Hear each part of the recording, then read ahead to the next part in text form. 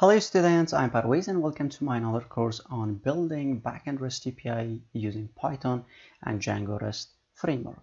So this course is divided into different lessons. We are going to start from the fundamental concepts on Django REST framework and after that we are going to build a practical project, a practical blog API project with uh, session authentication and also token authentication and also we will have different authentication mechanisms. So now let's check that what we are going to build. This is the simple project that we are going to build. We are going to build our backend REST API using Django REST framework and also we are going to deploy that to Heroku. You can see that now that our REST API is in the Heroku. So right now you can see that authentication credentials were not provided uh, because we cannot access the API articles and if I log in, so I can just log in now uh, through login I can access the so okay now I can give the username and also my password. And after that I can just click on login. So now I can access all the articles okay? So right now also you can create another article. So for example from here uh, this is for testing and we can just add a description and post you can see that's added this is for testing and this is the author. You can see we have id4 this is the slack we have dynamic slack this is the author this is the title description and this is the publish date. Now th these are the author slack the id and the publish date. These are added automatically. And if i go to the api root and if i go to here you can see that now we have id4 this is for testing. Okay.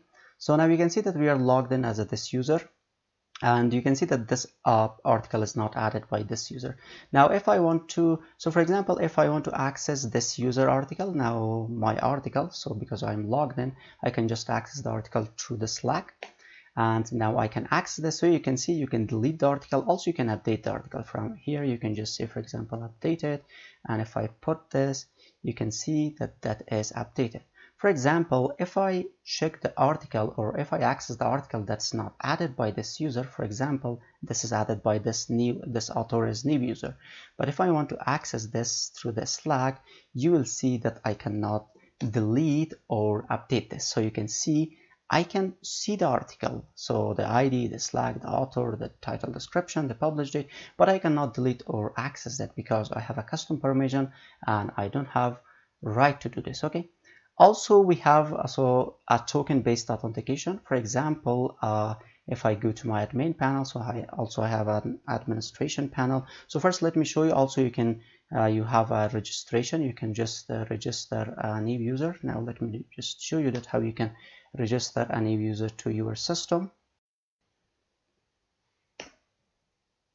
So now I can just go to the dj-rest-auth and from here you can just uh, uh, create a new user. For example test3 and we can just give the email address at gmail.com we can just give the password like this and uh, I can just uh, uh, so now post. Okay so now that's created and we have a token in here.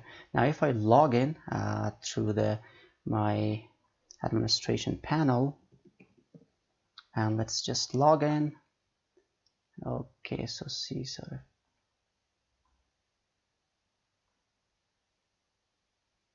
okay so we need to sign out. Now we can just log in okay? Because we were logged in through that user okay? So now let's just log in. Okay now we are logged in. If I go to the tokens you can see that we have the test uh, 3 it was uh, yeah now this is the token. Now for example if I uh, if you use the postman and for example if I want to access the API articles so let me just show you. So API uh, articles so API uh, articles. So for example if I use this through the postman and if I get this uh, you will see that I am receiving that the authentication credentials were not provided.